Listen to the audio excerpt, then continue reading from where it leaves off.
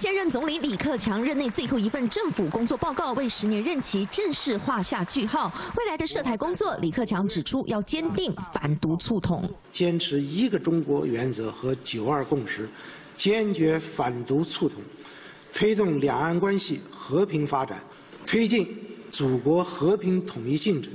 相较于去年的内容，今年更加侧重于促进两岸的交流合作。不过，在美国与日本及台湾最新一度的国防预算都增加，大陆也趁人大开幕公布了二零二三年的国防预算为百分之七点二，比起去年虽然仅增加百分之零点一，但换算下来折合台币是六点九兆，这个数字是台湾国防预算的十一点七一倍。受到疫情冲击，陆方对于二零二三年经济展望也趋于保守。年发展的主要预期目标是。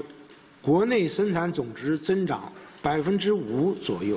去年大陆的 GDP 增长目标定为百分之五点五，最后仅实现到百分之三，让大陆今年的 GDP 增长没有如外传的会到百分之六，而是下调到百分之五。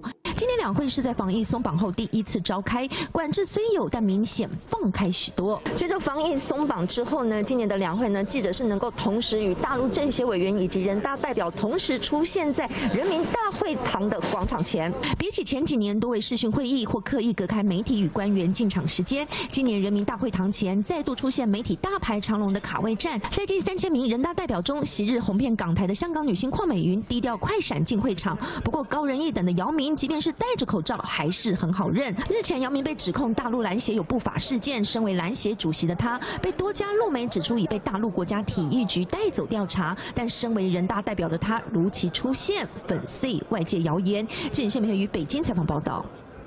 我是戴立刚，也是气象专家，十八年的气象主播位置，告诉你最准确的天气讯息。当然，更重要的天气内容呢，就要锁定我们中视气象台。更多的新闻信息内容，锁定中视 YouTube 频道，按赞、订阅、分享，开启小铃铛。